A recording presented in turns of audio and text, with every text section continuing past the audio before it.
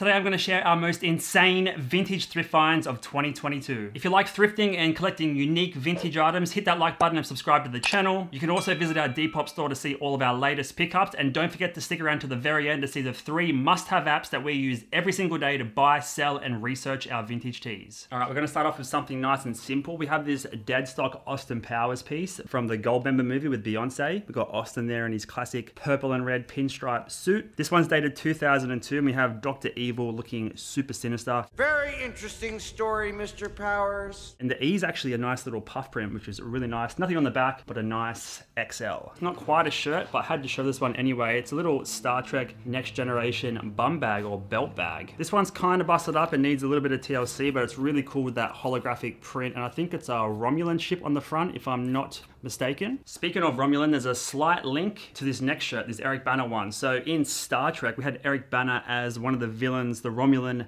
villains Nero. We actually have the shirt there. But also another Eric Bana shirt as Chopper Read. He's got two guns there and a big old shotgun stuffed down his jeans. And on the text here it says, Friends, Romans, countrymen, lend me your ears. Nice shirt, son. You like it?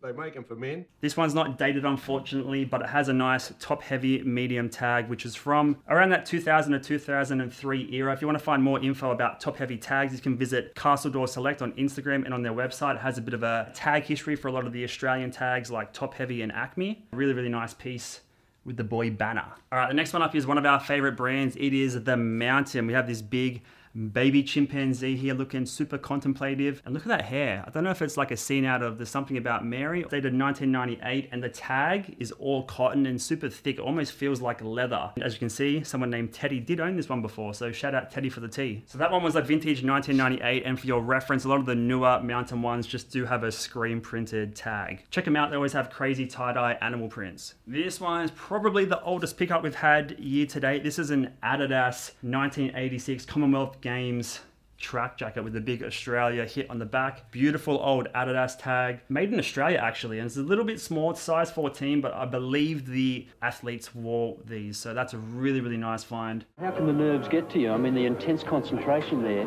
must, must be a bit much if you start getting nervous. While we're on the sporting theme, we actually found this just two days ago. This is a 1996 vintage ARL Parramatta Eels jersey. So if you're not very good with sporting stuff like us, the logos of the actual codes and the teams change so frequently, you always have to do a bit of a Google search to find out when exactly these logos are from, but you can find it straight away. But yeah, this one's from 1996. All right, moving on to the music tees, definitely our favorite category. Here we have a Silverchair all over print, Young Modern album promo. So Young Modern was their fifth and final album. They had that hit single.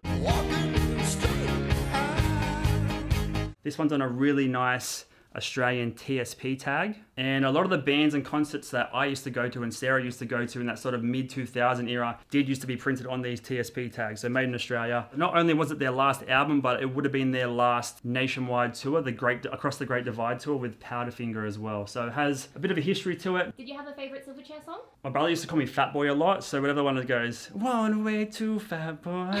All right, this one we featured a few videos back. We'll put the link up here if you want to watch it. Elvis, Big Face Tee, also on that Australian top heavy tag. Dated 1992 by Elvis Presley Enterprises, and it's actually single stitch top and bottom, which is really, really nice. The crazy thing about this is the blue is still so thick and caked on because it's never been washed. And if you look closely, there's little purple dots all over, sort of give it a bit more depth and contrast, which is crazy. Really, really like that one. It has that sort of pop art dot style graphic. RIP to the King. It's been 45 years since his death, and there's actually a biopic movie coming out later this year by Baz Luhrmann about Elvis. So keep an eye out for that. All right, these last two were found on the same day and probably won't have a day as good as this for the rest of the year. But this one is a 1994-95 Rolling Stones Australia tour shirt. Now, the Rolling Stones are in Melbourne for their Voodoo Lounge tour, and the 7 News cameras will take you live to the historic press conference tomorrow at 6. We have the classic tongue and lips logos with the different country flags as the tongues. What I like most about this tee is just the really simple colorway with the red and yellow and the chunky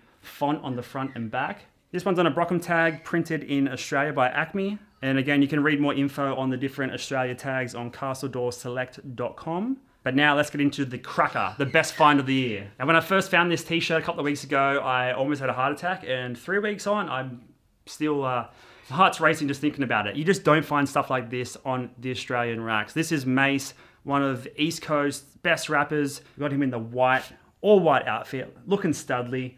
Dated 1998 on that Tultex tag. It is dead stock, still with the original outlet uh, tag on there. This one I don't think will ever leave the personal. I don't even know if I'm uh, willing to wear it out because this trumps all other t-shirts we have in the collection. Beats all of them by far. This puts the biggest smile on my face. When you showed me this shirt for the first time, I had no idea who it was until you started showing me some songs, and I was like, I recognize this. Do you have a favorite song that you've listened to recently? Um, I like Welcome Back. Probably most famous for being on Mo Money, Mo Problems. Now, who's hot, who not? Tell me who rock, who sell out in the store. Absolutely crazy. All right, so now that we've shown off the items, let's get into the three apps that we use every single day. So the first app we're going to talk about is Google Lens. For a shirt like this that we showed earlier with the logos changed so frequently, something like Google Lens will allow you to determine it immediately. So Google Lens is a free app and basically what you can do is take a photo of anything and it will do a Google image search of that image. So things like logos, action figures, and toys that you can't really determine what year they're from or what series they're from, Google Lens will really help you narrow that down instantly. App number two is Photoroom. Buying t-shirts can be very, very fun, but we also sell a lot of them as well. And if you're like us, we do flat lay photography, but the problem can be getting a perfect, crisp, white background. That's where Photoroom comes in. Some photo editing apps only allow you to remove the background of an image one at a time, but the benefit of Photoroom is you can batch them at 50 photos at a time. It's gonna save you a bunch of time editing and even more time getting the items up and sold. App number three is Gem. Now, the beauty of Gem is that it pulls data from a bunch of different websites like eBay, Grailed, and even personal websites. So, something like this Mase shirt, you're not going to find many of them on eBay, and that's where Gem comes in. We use it all the time to research our items and get a better understanding of how much it goes for and what kind of platforms it's listed on. And it's just really helpful because it pulls in so much data from so many websites. Thanks for watching. If you liked the video, hit that thumbs up button, subscribe to the channel for more vintage content. And if you want to see more awesome shirts, you can visit our store, Final Seasons Thrifts on Depop, link in description. See ya.